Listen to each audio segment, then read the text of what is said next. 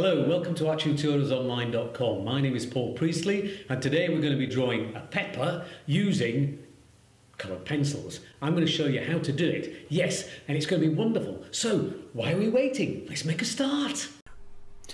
I'm going to start by sketching in the outline as you can see here. Now I'm using a red um, pencil to do this one and I'm just blocking it in very very simply trying to draw it nice and lightly. Now you'll notice this has been speeded up because if you if I hadn't speeded it up you'd have been watching this for about an hour and a half so um, we're going to work from there. Now once I've got the outline in you can see I'm just blocking in the darker tones first. Now because they're darker tones, they're cooler tones. So I'm going to block in first of all with a purple. I'm just blocking it in very, very lightly, just suggesting the basic shapes so I can see where things are. Once I've done that, then I'm going to start blocking in a bit harder by pressing on a bit stronger as you can see. And I'm not going to worry too much about blending this because I'm going to blend it all together with my burnisher later on. But I just want to establish where the dark tones are. So I'm going over as you can see with the purple once I've done that and established the really dark tones I'm then going to take a crimson and then work on top of the purple now this will work because obviously crimson and uh, the purple both share a bluish tone. Now, I'm now establishing the very dark tones. Now, whatever you do, do not use black because if you use black, you'll ruin it. What you need to do is to use a very dark blue-grey colour if you can. Once you've done that, then you can see I'm just suggesting the light tones. And I'm produced, I'm using yellow because yellow is the opposite to purple on the colour wheel. So it makes the front of the pepper stand out from the back of the pepper. Once I've done that, I'm just going to block in then with orange, which again is the opposite of um, purple. I'm just blocking in the areas, all the light tones around the edge where the pepper's been chopped in half, you see. And then I'm just going over that with a warm red, something like a cadmium red, just doing it very lightly to start with, just blocking it in, just along that front edge strong as I can make it. You see? Once I've done that, then I'm just going to suggest it a bit stronger, go on over it with a slightly darker red, as you can see, and just block it in. But yeah, I'm leaving little touches of the light red to show through, so you get this variation of tone of red, you see. Makes it look good, doesn't it? You see? Okay, now once we start on the um, sides of the pepper, the sides of the pepper in shadow, they're a darker tone, but also they're a cooler tone. And if I use a cooler red on here, crimson, it's going to make them sink back. So it will contrast with the lighter tones that I've used where the pepper has been sliced. So I'm blocking in with blues first of all. I'm then putting a little bit of white on top, which you can't really see. And then I'm working on top with my blue-grey again, you see, just suggesting really dark tones in the blue-grey. Again, don't use black. Black will kill your drawing. Don't use black, whatever you do, don't use black. Right. Um, going over now with purple. Again, just straight over the blue, and this is a beauty of coloured pencils. If you get good quality ones, they'll just go over each other like this, you see. So you can see it's all been suggested very cool bluish, purplish tones. Then work on top with the crimson. So you want a cool red now, not a warm red, cool red. And you can see we're beginning to develop that now. There we go. So nice cool red on top and we begin to suggest that reddish tone. So blocking that in so it's nice and strong.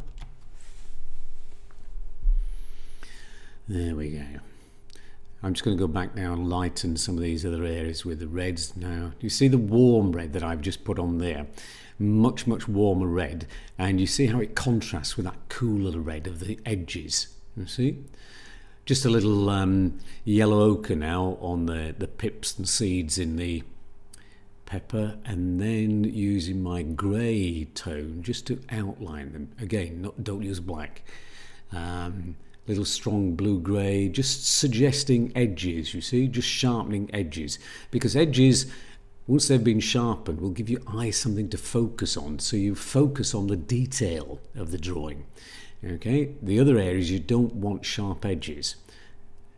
You just want the eye to focus on the sharp sections. And I'm going to fill in the areas, the, the depth of the pepper with some reddish tones. Again, use crimson, don't use a warm red. Um, once you've done that, you can see how the reds are contrasting each other.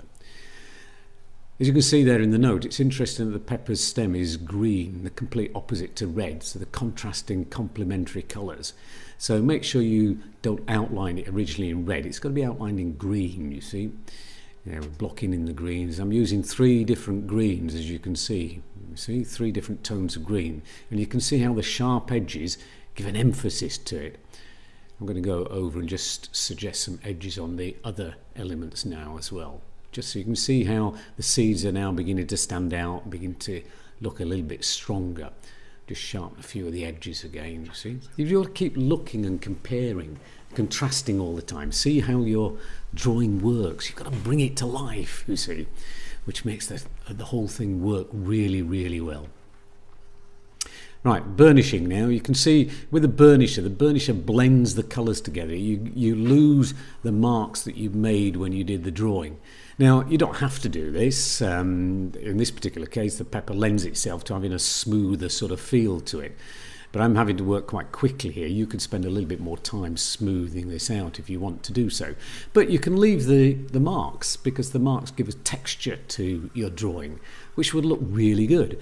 So, you know, it's up to you whether you want to burnish anything, but sometimes maybe a little burnishing here and there in contrast to the marks is a good idea. I'm just going to suggest a little bit of shadow underneath this so that the thing doesn't look as though it's floating in the middle of space somewhere. And again, with the shadow, I'm using a cool tone. You see the blues and the purples. And I'm just putting that on very, very lightly to start with. Then I'll put the reds on top because you don't want the reds to look too dominant. You see, just put a little bit of purple on. I've even burnished the edge as well to make that a little softer because you don't want a sharp edge around the shadow. There we go. You see? So just burnishing away, as you can see. Um, few little final details now. Now, basically, what you've got to remember when you do your drawing is you've got to be confident. Don't try and copy exactly what you see. Try to interpret it. Use the colours, blend the colours, exaggerate the colours a little bit.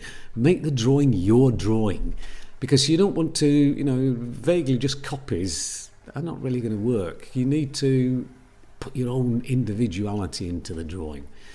I'm just finishing off now with a little bit of burnishing just to finish off the edges. Right, I hope you've enjoyed the um, video. Um, the drawing's been a little bit quick, as I mentioned earlier on, just to cover everything we need to cover. Good luck with your drawing. Well, that's it. Thank you for watching arttutorialsonline.com. If you've enjoyed the video, then please subscribe to my YouTube channel. If you really enjoyed the video, then please share it with as many friends as you possibly can. Thank you very much. Cheers!